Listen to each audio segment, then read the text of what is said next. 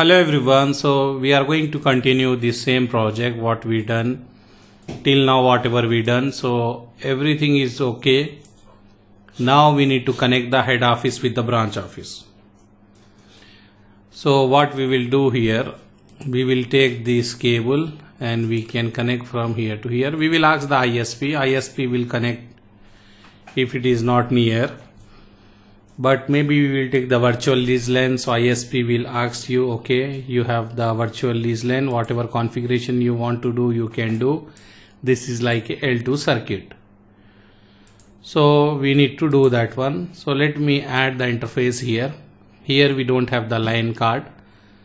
So this is a new LAN card I am inserting because we have the port shortage. So LAN card is nothing but the interface LC we are calling. Whatever the interface is suitable we will connect that.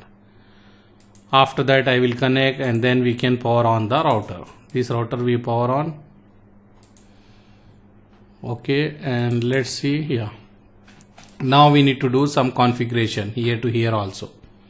Because this is a new subnet we connected so we need to configure IP also. Without IP we cannot transfer the data. So let's uh, put here some subnet I can say we can use in between 192 168 50 or 25.0 slash 24 so this side will be 25.1 this side will be 25.2 so let me update here. If you see where we are we are here in the R2 I will add one more interface here. I will write interface f1 slash 0 IP address and we will write 192.168.25.1 give space 255.255.255.0 and we will write no shut here. And here we will advertise the OSPF only till here to here. And in this router we will do the redistribution. This is a OSPF here everywhere we are having. So here also we can enable the OSPF okay and here we will do the redistribution. A router which is connecting to different routing protocol in that router inside that router we need to do the redistribution. So here if I want to enable the OSPF to this interface I need to do same thing. First I will copy one interface and here I will modify. This is the interface. I will put this here and area should be 0 here also. Because this is 0 so here also we can use 0 even if you use any other also it will work because it is connected to 0 but anyhow as we have 0 here so we will use 0 only. Just I assign the IP to this interface I enable the OSPF to this interface under this interface. Now I can copy and paste. Let me copy and paste inside this router so let's go here.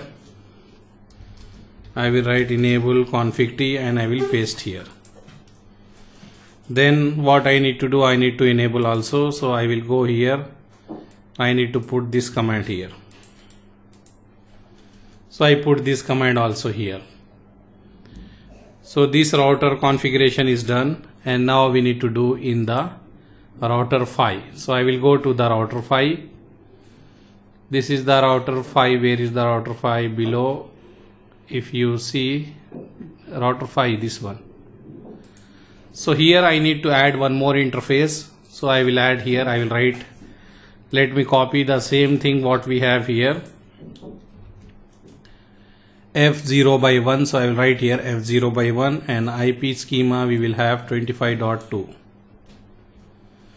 this 125.2 and then what we will do here we need to do OSPF here we don't have OSPF before so I will write router OSPF 1 then interface F0 by 1 IP OSPF 1 area 0 this already you know how to enable so we done here.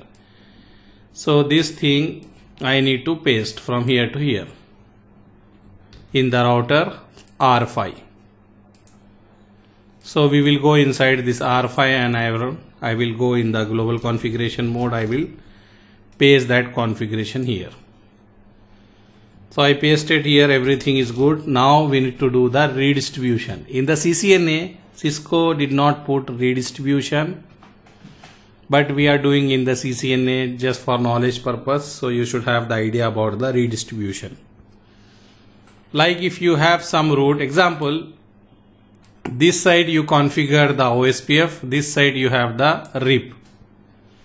So if you have this type of scenario the route will not go. Example here whatever the routes are going on here all the routes belongs to RIP. That route should go here. And whatever the network you have here all that is in the OSPF that should come in the RIP.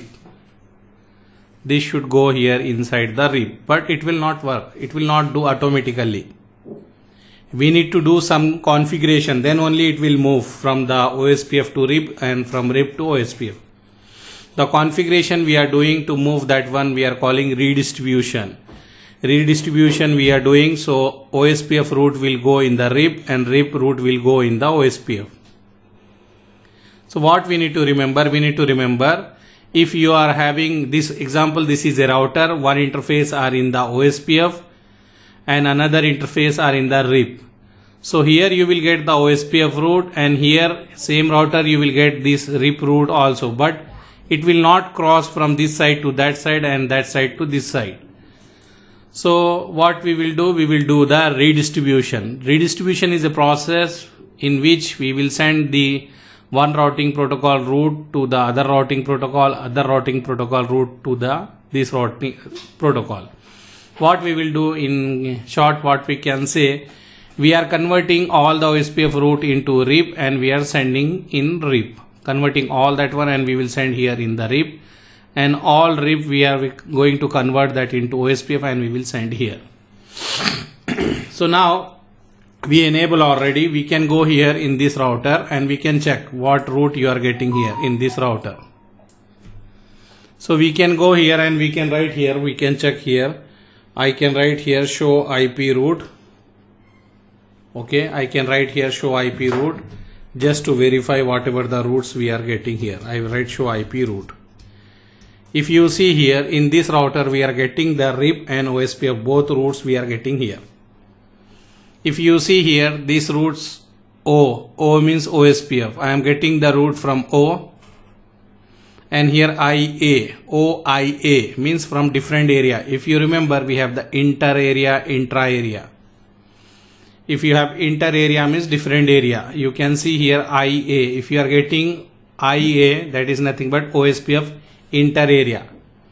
Inter means different area so this one R5 one interface is in area 0. If you remember just now what we done here.